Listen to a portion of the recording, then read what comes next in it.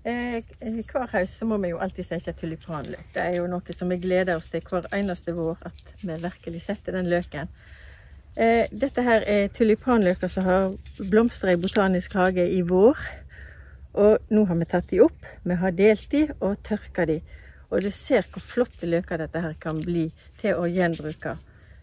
Eh, hver løk som vi setter i fjor, den har delt seg i tre-fire nye. Og dette er de største av de som har delt seg.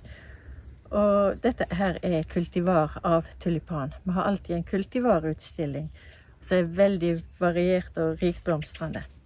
Men vi har òg noe som heter villtulipan. De er sånne som du kan la stå i bedet ditt, kanskje i fjellbedet eller på en litt tørr plass, og la de komme igjen år etter år. Noen år så blomstrer de rikt, og andre år så tar de det litt rolig. Og kommer igjen for fullt seinere. Eh, da skal vi sette disse løkene som jeg har her. Her tenker jeg det er akkurat nok med, med fem løker til den potta som vi har her.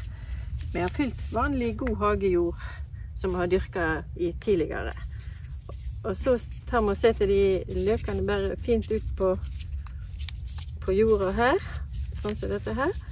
Og så skal jo en løk egentlig være ca. 10 cm ned i jorda. I alle fall disse store løkene her. Så nå tar jeg bare hånda mi og så dytter jeg en og en nedi.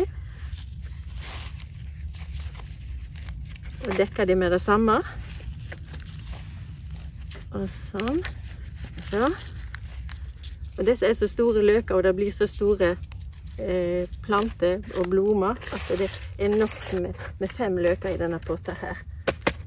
Og så har vi da skrevet en etikett igjen, sånn at vi skal huske hva vi har putta oppi her når våren kommer.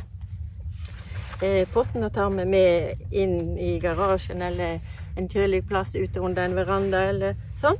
Og så står de der helt fram til det blir vår. Da tar vi de fram og vatner de, og, og løkene de spirer og gror. Eh, her har vi òg noen løker fra påskelilje. De har òg vært i et bed tidligere. Det er blitt flytta en del planter, så kom disse løkene opp. Det er storblomstra gule påskeliljer.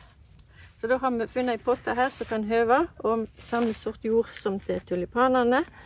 Vi lager bare et hull med hånda, og så dytter vi de nedi her.